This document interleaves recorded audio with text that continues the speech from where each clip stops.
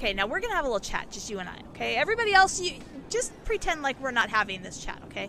So Isaac, I want you to know, I am a single mom. I have four kids. Four. One of them is being very loud in COD right now. Four kids. Okay? One preteen, one teenager, two adults. One of those adults is in med school right now. I don't have a job. So, rich? Definitely not. Because this GTA money does not translate to real life. Just an FYI. Okay? So, just letting you know, not rich.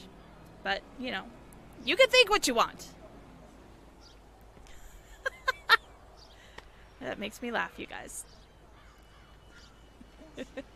I do own my own car, though.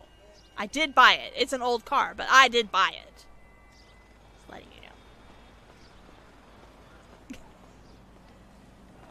I don't make any payments on that bitch. She mine. You're welcome. I know that you you all needed to know that.